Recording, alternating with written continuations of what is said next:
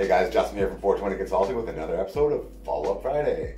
Really big thanks to Rishi Sharma for uh, spending some time with us last week and sharing some of his stories of me and his uh, journey on what hopefully will be an MLA seat for him in Saanich South. Um, we had a really, really cool interaction with one of his uh, campaign staff, Steve, and Steve's going to tell a story after I speak with you now about his journey with cannabis and how it's helped him with his Parkinson's disease. And what that really did was kind of inspire me to do a little bit of a challenge with my father in law. My father in law suffers from really debilitating pain that modern medicine, Western medicine, hasn't really found a solution for. They've done a gauntlet of tests and they just really haven't found what the problem is. So I reached out to my friends at Real Heal and I got them to make me a special formulation, really high CBD, full spectrum CBD, so that's CBD derived from cannabis plants. Um, and we're gonna do a one month challenge where each of us takes, my father in law and myself, we take three doses a day and we're gonna you know kind of uh, map out his progress see how how much of the prescription medications he can come off of and see if this really helps him out. Now uh, I love the stories and I'm really excited to share Steve's story with you guys uh, just after this video but I'd love to hear your stories. Send me your story and for the three best stories we get we're gonna send you guys out a trial bottle of Real Heal CBD full spectrum um, so share your stories, and uh, without further ado, here is Steve's story. You guys know that I'm super passionate about the uh, medicinal benefits of cannabis products and cannabis derivatives.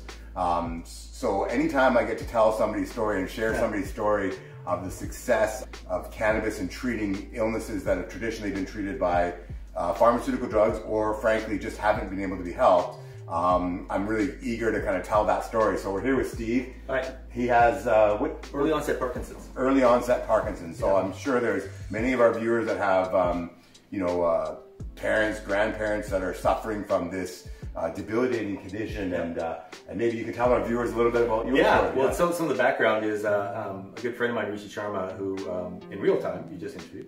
Um, he uh, he did interview here, and uh, it's, it's funny because he's like, "Oh, I'm sorry, I didn't mention about cannabis and Parkinson's." I said, "Well, the cool thing is that you don't notice I have it because of CBD and, and, and, that kind of thing." So, I mean, it's not just grandparents and older people who get it. The early onset piece um, is for young professionals. It's huge right now, right? Yeah. Um, so we have to be mindful of that, and I wouldn't be functioning uh, if it weren't for that. I'm a little nervous right now. Yeah. So um, but uh, yeah especially with Parkinson's, because it's about uh, the dopamine production, uh, distribution, uh, and reception in your mind, right? Right. Uh, and for some reason, the CBD makes it so that half the pharmaceuticals they want me to take, I don't have to. That's so right? awesome. And, and we hear this story all like this. Oh yeah. I hear this story all the time, and it really warms warms me, and it warms me like when I see people that have got positive positive experiences yeah. and, and life changing, really, right? Like, oh yeah, I, I, wouldn't I wouldn't be able to function uh, without that. I mean, the pharmaceuticals help as well, but having those CBD drops in the morning and the evening, I sleep better, my life's better. I can spend more time with my kids, with my wife. Yeah, uh, yeah, it's it's, uh, it's pretty good. How did you get introduced to, to CBD? a friend of mine who's actually my tattoo guy, um, where I'm from, he uh, uh, he took it for cancer. Okay. Um, and actually doesn't have throat cancer anymore. Isn't that amazing? Yeah, it is. And, yeah. and he's like, I don't want to tell people because they'll think I'm nuts. I'm like, yeah, but.